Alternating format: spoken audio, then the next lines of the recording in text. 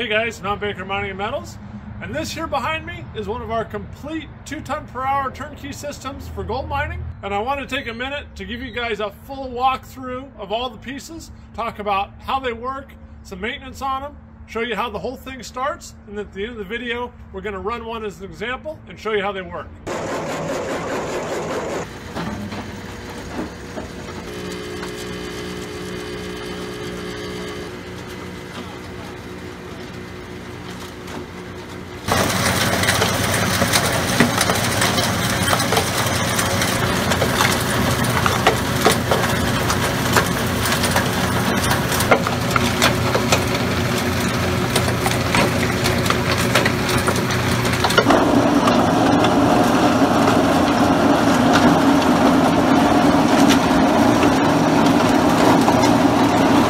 Behind me here is the 8x12 jaw crusher module, and this is where the whole system starts.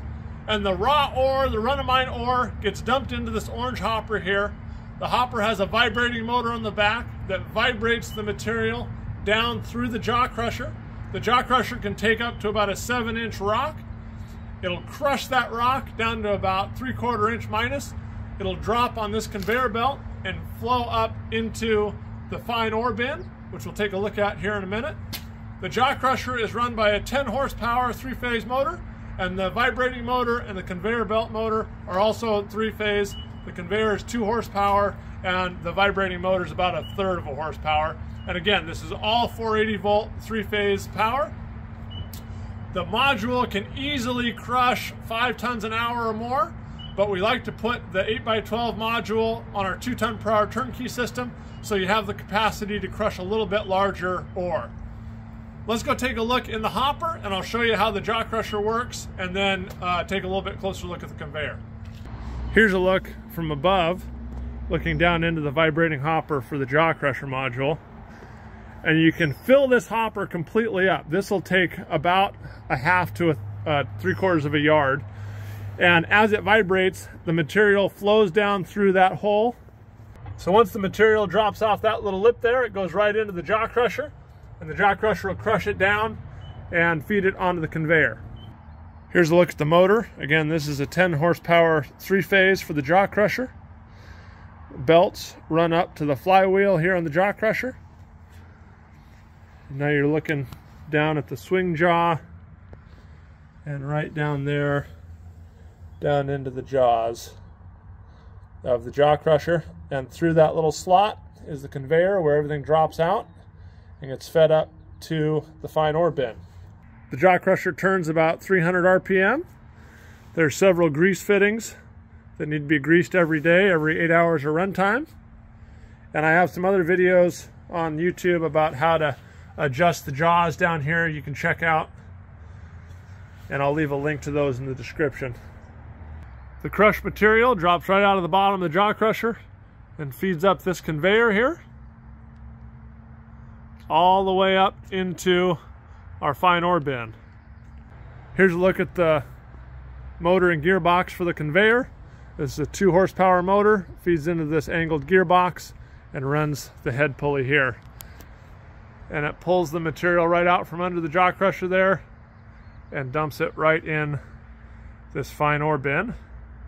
And the reason why we have the fine ore bin is so you can get surges through the jaw crusher. This will crush a lot faster than the hammer mill can take it. And so you need this secondary ore bin to evenly feed the material into the hammer mill. At the bottom, there's a vibrating tray here that vibrates the material onto that conveyor. And it's run with a VFD so you can adjust the feed rate for the hammer mill. Here's that vibrating tray I talked about earlier. There's two vibrating motors on each side and there's several adjustments you can make to this thing. One is this flap here. You can adjust closed or open for kind of rough adjustment. There's also some adjustment here on these wings for adjusting how much material can flow out onto the conveyor belt. And then again, the vibrating motors both are run with a VFD so you can adjust how aggressive they vibrate and the more aggressive the shake, the faster the material flows through this vibrating tray. This second conveyor goes up here. It's an exact carbon copy of the one on the jaw crusher module. And this feeds up into the hopper of the hammer mill. And the hammer mill likes a nice, even, uniform feed. And that crushes the material down onto the shaker table, which also you want a nice, even feed and slurry for the shaker table.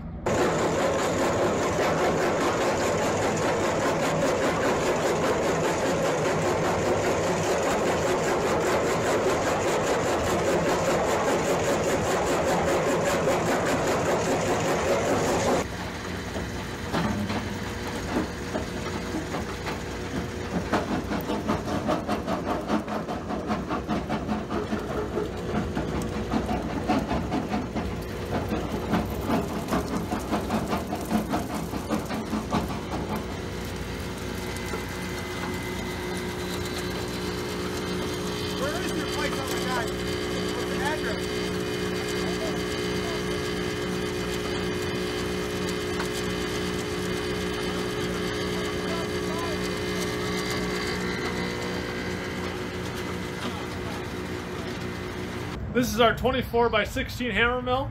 It's rated at two tons per hour, and that's with our smallest slotted screen, which is a 0.8 millimeter laser cut slot.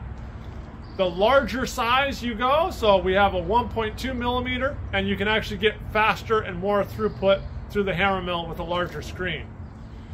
The maximum feed size for this is two inches, but we recommend one inch and smaller for faster throughput through the hammer mill and also the jaw crusher can do a lot more work a lot faster than the hammer mill can if you start feeding larger stuff into it. So having the jaw crusher reduce it to one inch minus and then feed into the hammer mill reduces wear on the hammer mill and also increases the throughput. On this system, we add about two to three US gallons per minute to the hammer mill to make a nice wet slurry that feeds right onto the shaker table. We add a little bit of water down the top then we also add water here in the side of the case, here and on the other side to help flush the material off the sides, keep it nice and clean, and run it down through the screen. With a 0.8 millimeter screen, the hammer mill will crush 50% passing 50 mesh and 30% passing 100 mesh at two tons per hour. If the ore is softer or more oxidized, you can get more throughput and a little bit finer crush. The screen size I just mentioned is for a nice, hard, competent quartz ore. Here's a look at the hammer mill from the backside. This is a 30 horsepower three-phase motor, powers the hammer mill. Belts run from the pulley on the motor over the shaft of the hammer mill. And the material comes from that conveyor, drops into the orange hopper, and down through the hammer mill.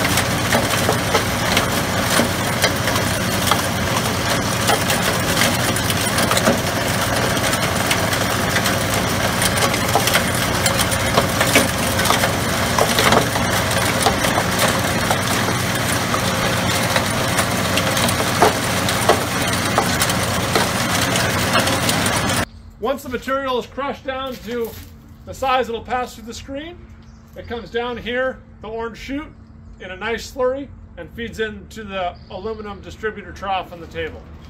This is our 5x12 shaker table, and it's rated for two tons per hour. And once the slurry feeds down from the hammer mill into the distributor trough, there are adjustable gates here that you can adjust the flow of slurry onto the table and the white water bars add water to the table to help keep everything fluid and moving. when the slurry reaches the grooves, the dense minerals settle down in the grooves, the gold, the sulfides settle down into the grooves and work their way across the table to the concentrate side, where any gangue minerals like quartz or calcite or any little bits of rock that don't have any value wash down over the grooves into the number four tailings. The tailings would be piped over to a spiral classifier, which we'll talk about here in just a minute. And all the heavy minerals, as I mentioned, work their way across, where the sulfides make a band going down into the number three middlings, and then the concentrates flow across into the number one and number two. But let's go down and take a look at the concentrate end of the shaker table, and then we'll take a look at the spiral classifier. Once everything is settled into the grooves and it's working its way across the shaker table, it comes to a ramp, and we've built a ramp into the shaker table. It starts right about here and runs parallel with the end of these grooves, and the ramp starts uphill and ends just before the end of these four long grooves here. What that ramp does is it works the material across, but then any of the gangue minerals, such as the quartz, can't climb that hill even in the grooves. So they make a nice straight line right at the base of that ramp down into the number three or the number four. And there's a little aluminum splitter here that you can adjust that line with. Any other dense minerals like the sulfides work their way up the ramp in the groove, but as soon as they get out of the grooves, they can't go any farther up the hill, and so they work in a nice band right down here into the number three middlings. Some people save those for further refining. Some people have enough values that make it worth it. Other people, they just go into the tailings with everything else. It'll depend on your individual ore. The values, the gold and the other super dense stuff that you want to keep is going to work its way up these four long grooves up onto this next flat, which we call the cleaning plane. Once the material is up here on the cleaning plane, you can adjust the water to fine tune how much material works its way down into the number one concentrates. If you want more material there, then you can turn the water down. If you want to try and wash everything but just the very heaviest stuff, such as gold or copper, then you can turn the water up. Even if you wash some of the values down you want to keep, they're going to work their way down these grooves into what we call the two safety grooves, and they'll come over here into the number two concentrates. So you're not going to lose anything by maybe accidentally turning up the water too high. The table is actually really forgiving as far as value concentration. So you're just going to tune whether it goes into the number one or the number two, but you're not going to wash anything into the number three because of these safety grooves. This shaker table uses about 15 US gallons per minute, give or take, depending on your water needs. To get the shaker table set up, it needs to be flat, level, parallel with the grooves, and tipped down towards the number four tailings trough at one quarter inch per foot. And so when you get it all set up on this table, you have about an inch difference from the top to the bottom, inch and a quarter roughly. And it's, like I said, level this way in parallel with the grooves. So the water runs down towards the shaker table, number three and number four, and the heavy materials work their way across the shaker table, up the ramp, and into the number one and the number two. The shaker table is run by a one horsepower motor and it's contained under this guard. There's a couple of grease zerks under there that you only need to grease about once a week.